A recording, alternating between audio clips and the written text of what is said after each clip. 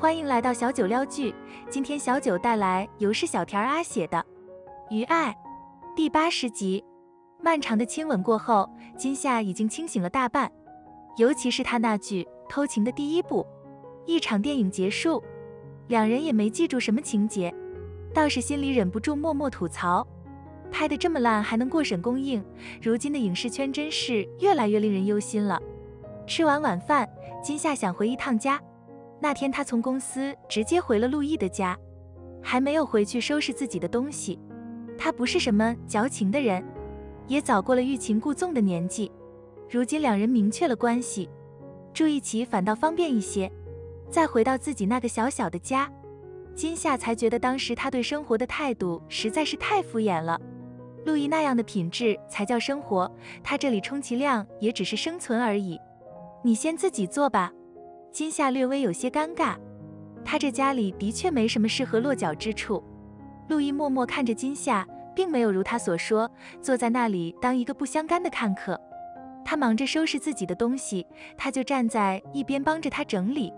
他习惯了将衣物随便团起来塞进箱子里，而他则细细重新挑拣出来，帮他重新折叠整齐。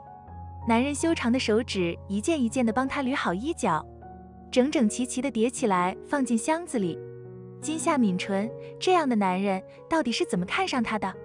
收拾完衣服，金夏磨磨蹭蹭的开始收拾自己的内衣，速度明显比刚刚慢了很多。他还不太适应，让他替他做这样的事。陆毅看着明显慢下来的金夏，心底隐约猜到了他的想法：你我之间还有什么需要隐藏的吗？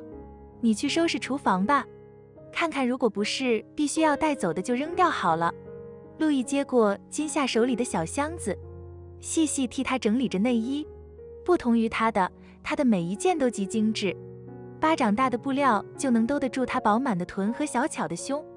陆毅不自觉地弯了弯嘴角，想念他的小白兔。金夏怔了怔，看着忽然间空了的两手，脸颊倏地红了。我自己，你去收拾厨房吧，咱家什么都不缺，一些已经用旧的东西就可以不用搬了，回头想要新的，我再陪你去买。陆毅打断金夏的话，凑过来吻一吻她的嘴角。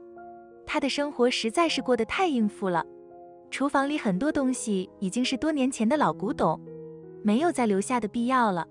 金夏抿唇，不再跟他争执，乖乖钻进厨房去收拾东西了。金夏东看看西瞧瞧，觉得哪一样都没有什么特别要保留的必要。陆毅家那样的厨房，器具全备，根本不需要他再添置些什么。如果真的要添置，也不应该是他这里这些老古董。他最终决定全部扔掉，只把自己的衣物收拾完。陆毅替金夏收拾完，过来见金夏把厨房里的东西全部都扔进垃圾袋里，一时有些争冲。他只是不希望他收拾的太辛苦，并不是嫌弃他这些东西。金夏，我没有嫌弃他们的意思。我知道，原本这些东西我也只打算在这里用。搬家的时候是要重新再买的。好，我们重新再买。正冲片刻，陆毅弯一弯嘴角，温和地牵着金夏的手出来。金夏垂了垂眸，知道他误会了。我不是这个意思，我的意思是我打算买新房子的时候重新买，不是要给你那里大换血。不是我那里，是我们家。陆毅皱眉，轻声纠正着他的口误，顺手把他散在耳边的碎发拢回去。金夏抿抿唇，陆毅对她足够好，可她还是想拥有自己的家，这似乎是他的一个执念。无论身处何处，他总缺乏安全感，唯有红本本上写上他的名字，才算是踏实。可我还是想要一套自己的房子，哪怕面积小一点也行。嗯，我支持。而且以我们金老师现在的能力，将来自己供房不是问题。陆毅知道金夏有心结。他不勉强，只是有些心疼。金夏，无论将来你买什么样的房子，无论你是什么样的金夏，你要记住一点：我跟你在一起的之后，我的所有都是你的，我的家就是你的家，我的家有你才叫家，明白了吗？你不需要跟我客气，我会努力让自己成为你一生的依靠。他不知道他有着怎样的过往，也不知道关于那些他究竟经历过什么。他只知道，他这一场恋爱是奔着生同亲、死同学去的。他不会再给除他之外的女人机会，他将是他一生的唯一。金夏鼻尖微微泛酸，轻轻拥着陆毅的腰身，将他搂紧。他知道自己缺乏安全感，有时候难免会因此显出一些小心眼来。他也知道他一直在努力尝试着给他更多的安全感，但他需要时间，慢慢打开心房，完完全全地接纳他进来。对不起，陆毅，没关系，我懂。他轻抚着他的后脑勺，嘴角微微扬起。他比他年长了两岁，却远不止成熟这两年。他有耐心，也有时间慢慢等他完全敞开心扉。冰山非一日形成，他自然也不可一时变暖化了。这回还要哭鼻子吗？他勾着他的下巴，抬起他小巧的脸蛋。金夏抿沉，嘴角微微弯起，心底那一抹的酸涩被甜蜜取代。我们还没有在这里。金夏踮起脚尖，鼻尖贴着他的，吐气如兰，偷过情。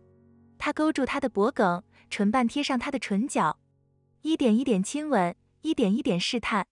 陆毅并非圣贤，自然有自己的本能欲望，只是此时的他很想看一看这只小炸弹想要玩什么样的花样。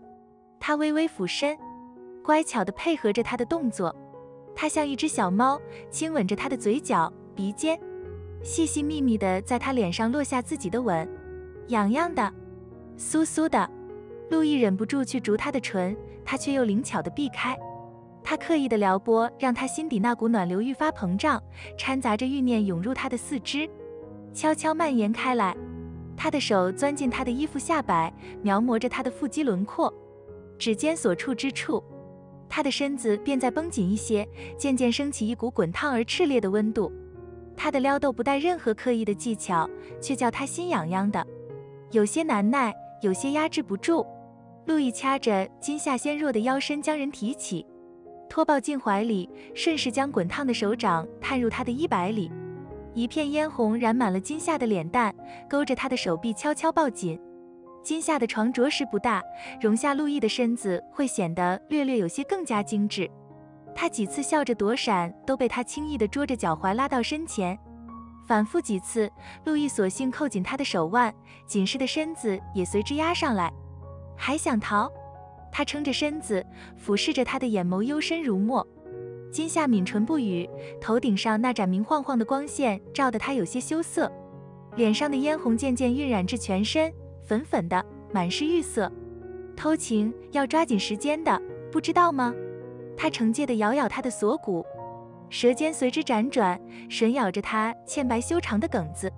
房间一点点升温，留下一串串丝丝缕缕的暖色与暧昧。这间小小的屋子里，最后留下他与他深情爱着的痕迹。今夏被他反反复复折腾着，身子一遍遍被拆了重组，到回家的时候已经暮色已深，浓到化不开的夜色里，他将她抱回卧室，再一一整理她的衣衫。放回属于他的衣柜里，看着一点点被他的衣衫填满的衣柜，看着角落里他点点滴滴的小玩偶装饰，陆毅的嘴角不自觉地弯起。这才是家的感觉。床上熟睡着的女人的男一语，翻个身又沉沉睡去了。满屋都是他的气息，满屋都是幸福的味道。